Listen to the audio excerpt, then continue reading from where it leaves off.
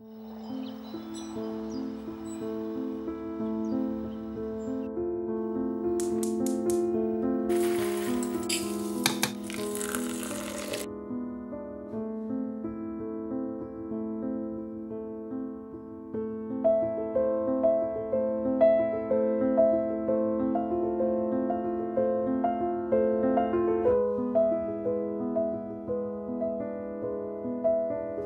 Beaver Left saw its first free ascent in 1986 when Hidetaka Suzuki came to Tucson and established a handful of FAs around the Windy Point area. For the next two decades, it was climbed as a mixed route. Um, and it wasn't until 2009 when David Marin decided to put effort into leading it all on gear. Since then, at least three other people have done it in that style. No!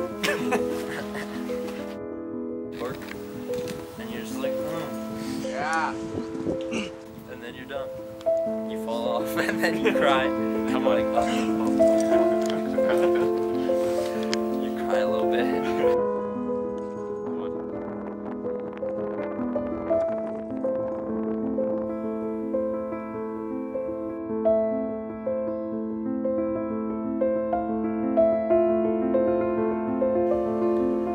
For as long as I'd known about Golden Beaver, not only did I know that it had been done all on gear, but it had been done more than a couple times, so to me it was never really an option to clip the bolts.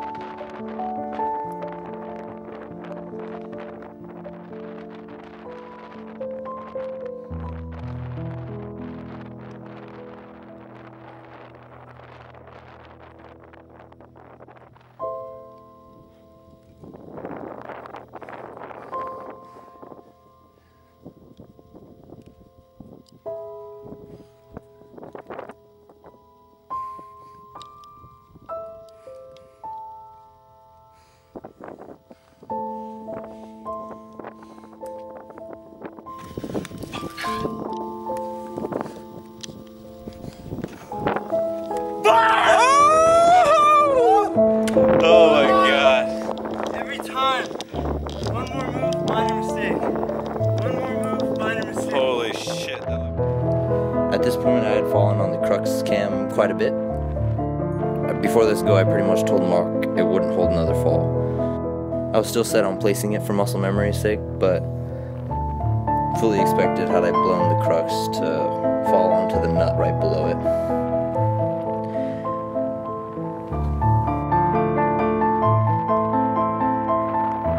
And then, as I thought I was about to do it, I punted off the last move.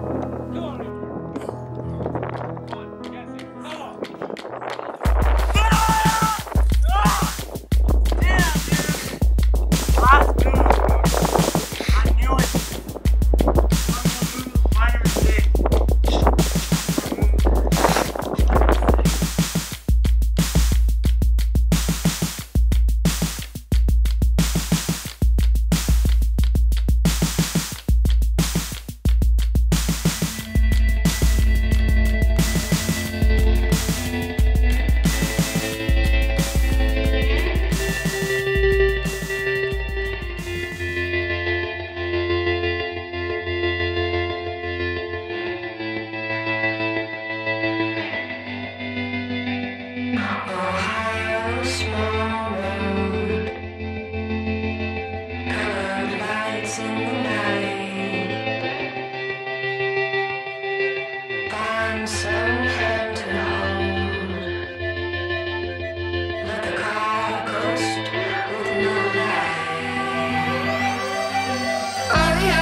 Kids move so slow.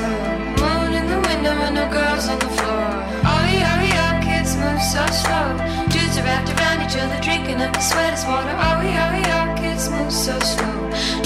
lost a rhythm, I gotta know where to go. Hurry, hurry up, kids move so slow. Live the smallest one up by a dreamy bruises, my rose. And they say.